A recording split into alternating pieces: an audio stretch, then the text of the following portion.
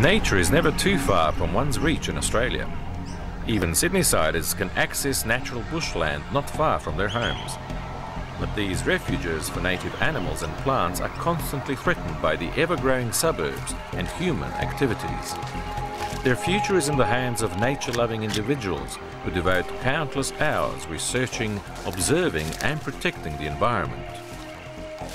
One such individual is Dr. George Hangay, a retired museum professional, a somewhat old-fashioned, or shall we say rather classical naturalist.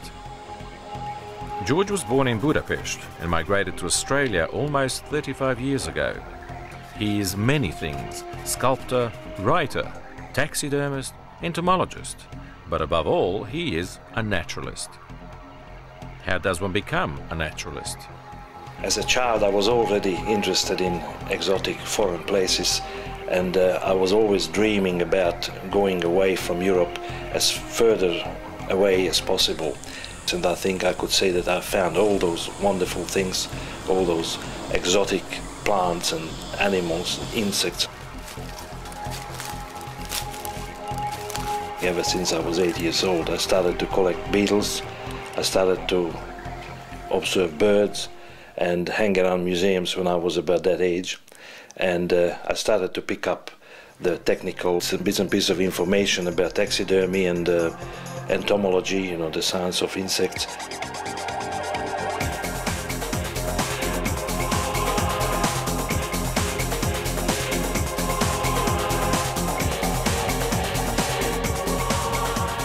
The story of my life is that ever since I'm doing the same thing, probably on different levels, but uh, I still consider myself as an amateur and uh, a very keen one on top of that.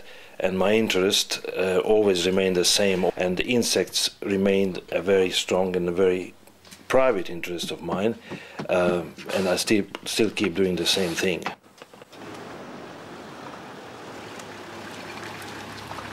A lot of animals get killed on the roads, uh, more than most people would think. If you go along anywhere, even just in the suburbs of Sydney, where there is a bit of bush left, uh, rest assured there will be a dead animal somewhere, and that's just the proof of it. How many animals get killed? Um, electrical wires kill them as well, and dogs kill them, cats kill them. Unfortunately, we never will run out of specimens. There's a legal aspect to all this. To hold protected fauna, even if they are roadkills, you need a license from the Wildlife Protection Authorities.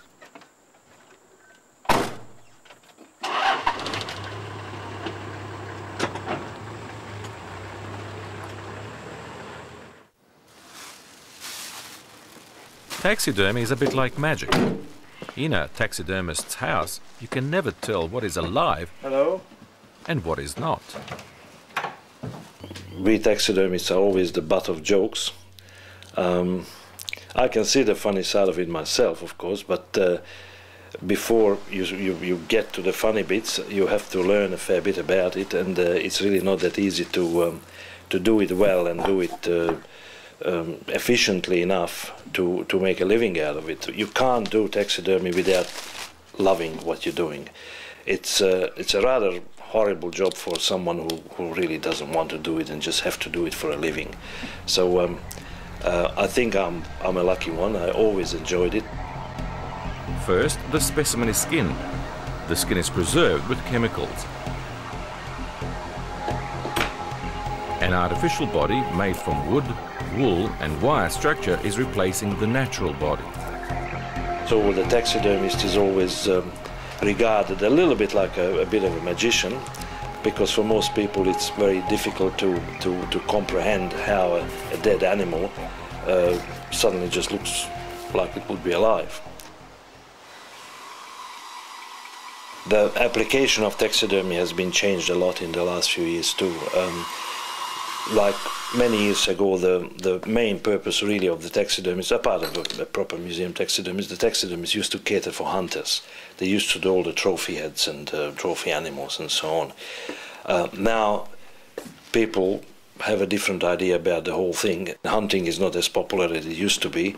Uh, the idea of killing an animal and take its skin off and have it mounted or stuffed and put it on the wall, it just doesn't appeal to a lot of people taxidermists nowadays work usually for um, public education or, or public mm, interpretation services and so on. So the animals which we do are usually not purposefully killed for that, that particular reason that they are stuffed and put on display. So this is uh, where this bird is going to stay for many more years to come, hopefully. And uh, let's hope that it's going to do a good purpose. Uh, together with the other specimens and the insect collection and all the text and the panels, um, will demonstrate the diversity of, of the wildlife of this area. But taxidermy is only one aspect of being a naturalist. Studying animals is another. In our environment, there are many more invertebrate animals, such as insects, than vertebrate, such as birds. Their study is equally, if not more, important. George spends a lot of time searching and studying insects, for George is also an entomologist. These beetles are quite peculiar. They, they look after their, their eggs and then they look after the actual larvae by uh, providing food for them. They process the food and then they, they literally they fed it to, to their offsprings. And then they release them because it's, it's a very small area and you have to be careful not to deplete the fauna too much. In order to identify the insects, one must have a reference collection. George's collection holds almost 100,000 beetles from all over the world.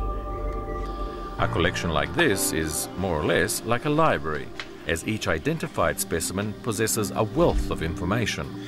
In my entomological activities, I rather focus on one smaller group than, than do everything. And uh, my favorite group is the scarabs. I can say without being too immodest that I'm a bit of an expert in the scarabs. And uh, uh, I do some work for uh, colleagues and, and, other collectors who uh, probably know a bit less about it. I get this material sometimes even from overseas, like this lot comes from Germany and um, they wanted me to find out the names of, of these uh, particular beetles. For shipments like this, you need clearance from the Australian Customs and Quarantine Authority. They could be quite uh, different, although they, at the first glance, they look the same because that group, it's an elephant beetle, that group has many, many uh, subspecies within their own kind. So what I do, in order to examine them, I soak these dry specimens in a bit of um, lukewarm water and detergent and once they softened up um, like that you see once the, the, the legs are flexible I use a special insect pin which is a, a stainless steel pin. And uh, I put the pin through the right wing covers left upper corner like that. And then uh, I just simply pin it out on a block of foam. Uh, the legs should um, should be nice and uh, symmetric. This way. And because uh, it's going to take a few days to dry and in the drying process it might sort of moves a bit here and there I fix the position of the legs with pins. And once the beetle dries then of course the legs won't change their positions anymore. So um, they can be placed in a collection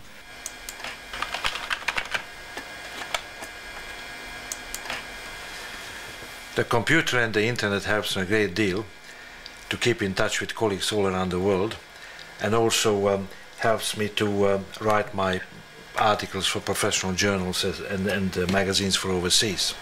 It also helps me to, to write my books.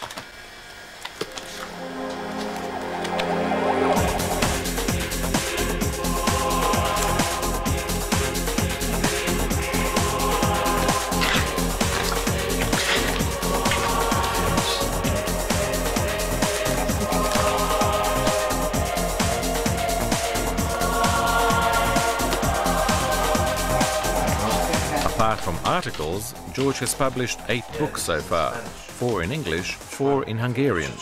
They cover a wide range of subjects. Some of these books made him well known among the younger generation of naturalists and adventurers. George and his wife Kathy share this interest in natural history. Kathy's language skills can help when studying foreign references.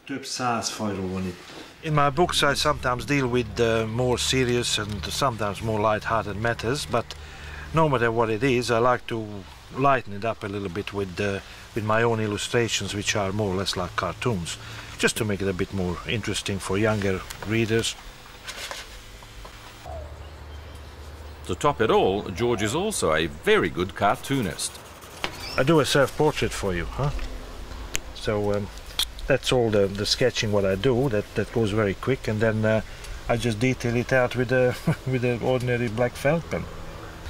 Lucky my features are ugly enough, so it's easy to draw a caricature of it. You know, age and a uh, bit of a brutish face has a advantage when it comes to drawing. As a taxidermist, George not only makes dead animals look alive, but he restores inanimate objects as well. This artifact from Papua New Guinea has been sent to George by a client who wants to have it restored. Cleaning of a, a sculpture like that is always rather tricky because the pigment, the, the paint on these um, uh, tribal carvings are usually not uh, consolidated. That means that if you rub it with a wet sponge or with a towel, uh, the the colors will wipe off, and um, obviously then you just lost uh, most of the, of the of the of the beautiful detail of it. George uses a soft brush to gently dry the artifact. He then removes as much dust as possible without harming it. A properly restored object does not necessarily mean it will look brand new. A good restoration on an artifact like that is when you can't see any sign of it at all. So if, if I would turn this into a beautiful gleaming and shiny new looking thing, it would mean that, that I ruined it. To fix up the damage on these pigs' tusks, George must establish which type of glue was originally used. It was most probably a tree resin that George tries to match.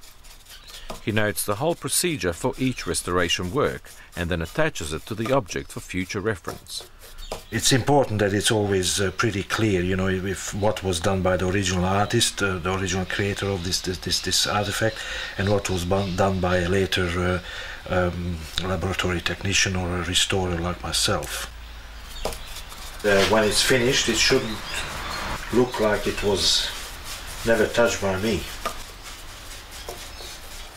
And that is the sign of a master restorer or taxidermist is what George Hangay is.